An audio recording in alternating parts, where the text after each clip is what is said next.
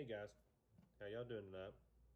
Uh, if you're new to the channel, you know, or if you're watching, you're not subscribed, please consider subscribing. Let's try to get the subscribers up and uh, like, comment, share. Uh, let's try to get it out there a little more. But uh, as you can see, I'm in a hotel room. Nothing's wrong. We uh, dropped that Jeep off that you seen in the last video that I had picked up.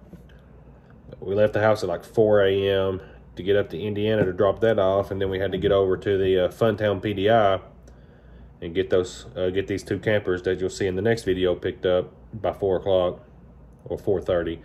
So we had to leave kind of early, and by the time we got them picked up, we only had like an hour drive time left, and it wasn't where I wasn't going to get anywhere, and I really needed to do some uh, of my monthly expenditures and and what I've gotten paid and what I've spent updating the computer and it's over here and I've got a sheet here that I'm going to be talking about. So I, I, want to just get a room, do that tonight, take a hot shower, get an early start, you know, good night's rest and get an early start in the morning. So I'm going to be looking at this paper here and what we're going to do is I'm going to talk about our first six months this year in haul and tow. Uh, and it's and it's been up and down because of the market. So I don't I don't feel these are a true normal year's numbers. I think they would be higher if we didn't have the parts shortage. So keep that in mind. But going over the numbers, I'm, still still happy with it. Uh, you know, it could be better, and I'll explain why. So this is through the end of June. So this is through June the 30th. So through June the 30th, we have worked 97 days on the road. We've been on the road 97 days. And out of those 97 days, only 68 of them have been spent overnight. Because as y'all can tell from my videos, I do a lot of going to Indiana, spend the night, then I come home. And then there'll be days where I'll like just go to Atlanta, deliver, and then I'm back home. So there have been weeks where I've done a complete trip and only spent one night out. So this is 97 days and out 68 nights. And we've ran 51,818 total miles in, in the first six months. And that does include sometimes we didn't pick up loads. We, we, we did head empty. And of course, that hurts your, uh, hurts your bottom line when you do that, but we've done it for certain reasons. You know, like recently we had to, uh, couldn't find a load to drop on a Sunday because we had to pick up in Indiana on Sunday and be in Pennsylvania on Monday. So that cost us some time, money, and empty miles. Okay, so in those six months, uh, in January we done ninety four hundred and fifty seven dollars and fifty two cents. February we done ninety nine hundred sixty five dollars and forty three cents. March we done ninety four hundred forty eight dollars and ninety two cents. April we done thirteen thousand four hundred eighty five dollars and fourteen cents. May we done just sixty eight hundred and twenty eight dollars and ten cents, and that's because it was my wife's birthday anniversary, our anniversary. Mother's Day, all that wrapped in there, so I didn't work a lot. And then in June, we done thirteen thousand eight hundred seventeen dollars and seventy eight cents. So we had a couple thirteen thousand dollars, and a, uh, three months right there, we were hovering around ten thousand. For a total this year through June of sixty three thousand two dollars and eighty nine cents. Not bad, but like I said, I feel if it wasn't for the part shortages and having to take some shorter loads, and of course I've had a lot going on this year, that would be higher.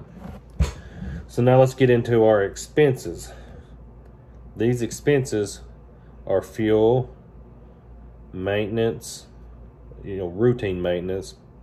Does include the big breakdown in New York, tolls, uh, insurance, and if we stayed in any hotels, it's all in an expense wrapped into one. January they were 278404, February 306086. March when we had the big breakdown it was $11,237.40. Uh, April 373741, May 220629 and June 382045. So for a total including the big breakdown of $26,846.45. So if you take out that $8,500 breakdown between my mass airflow sensor and then in New York when we had to do the uh, turbo, power steering pump, and brake booster, our expenses would be $18,346.45.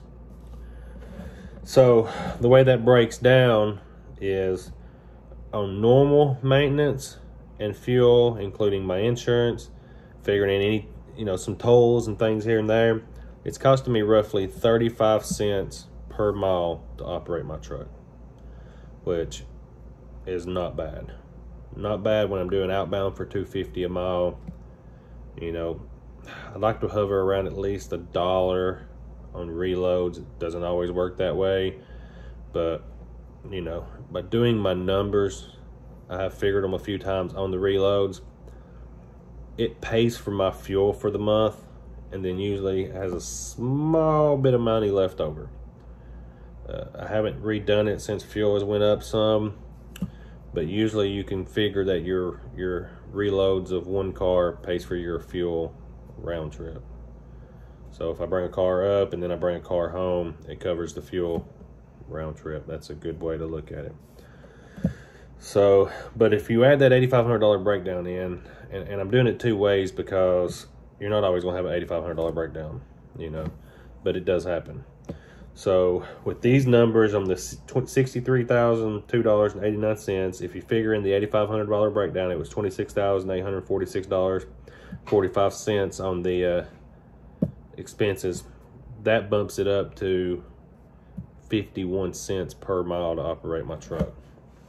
So, you know, it, it, it increased my operation cost quite a bit, you know, so, and, and the second half, I'm going to have some more maintenance stuff where we was changing the water pumps and all that, but it's going to be nowhere near that amount unless something else happens and we got our fingers crossed nothing happens.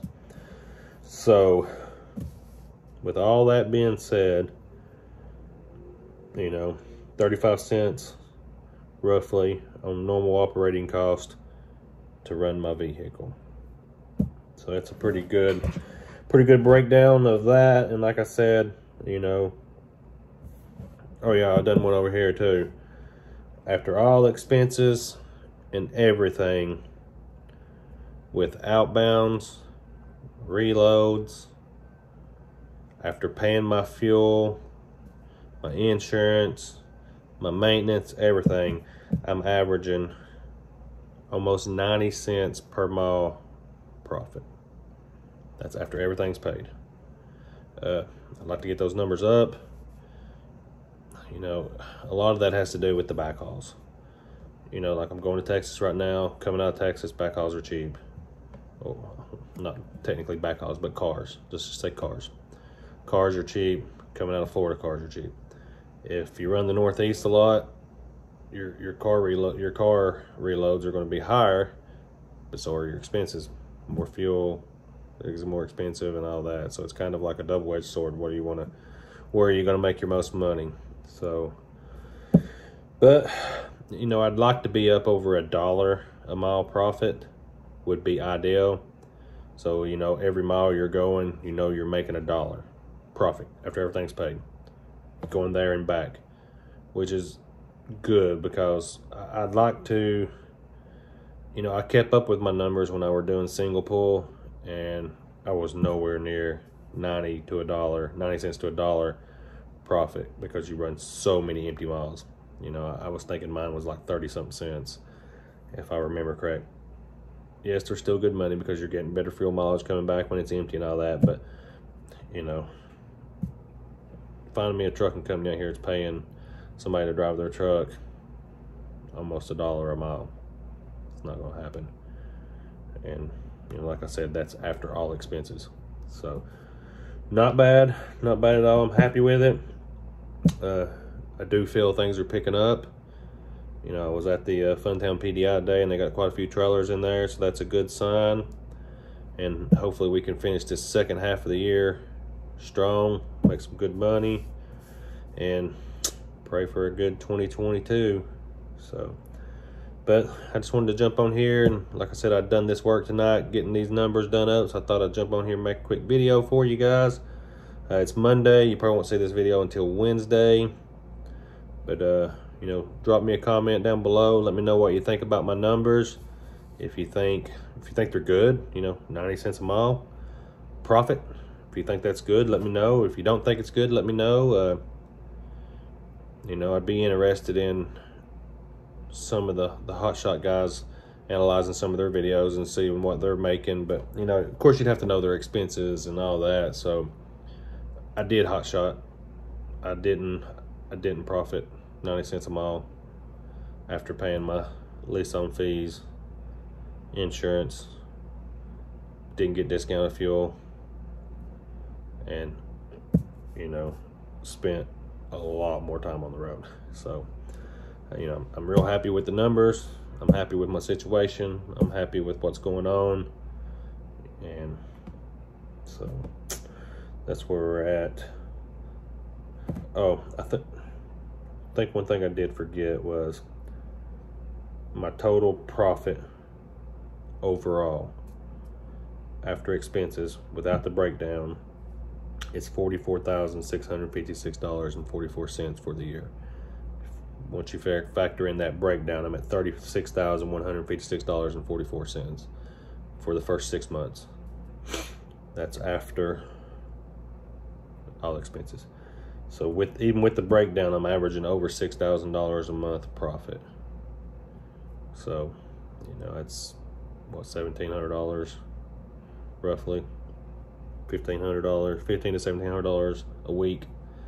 So, you know, that's not bad. I, I can handle that, and it's, it's even more than that if you take out that big breakdown. So, like I said, like, share, subscribe, drop a comment down below, hit that notification bell so you keep up with when we put out new content.